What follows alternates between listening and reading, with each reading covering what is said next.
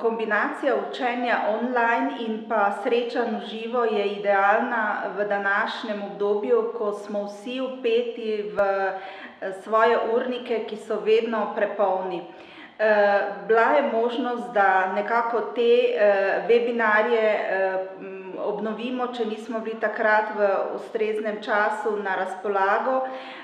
medtem ko se srečanja v živo so dobra tudi zaradi tega, ker, se med sabo spoznavamo, izmenjujemo izkušnje in, tovrstno izobraževanje je krasno, tudi zaradi tega, ker smo mi lahko, aktivno sodelovali, imeli smo kar nekaj domačih nalog, pri katerih smo, bogatili svoje izkušnje in prenašali, nekako svoje znanje tudi v, v te svoje naloge.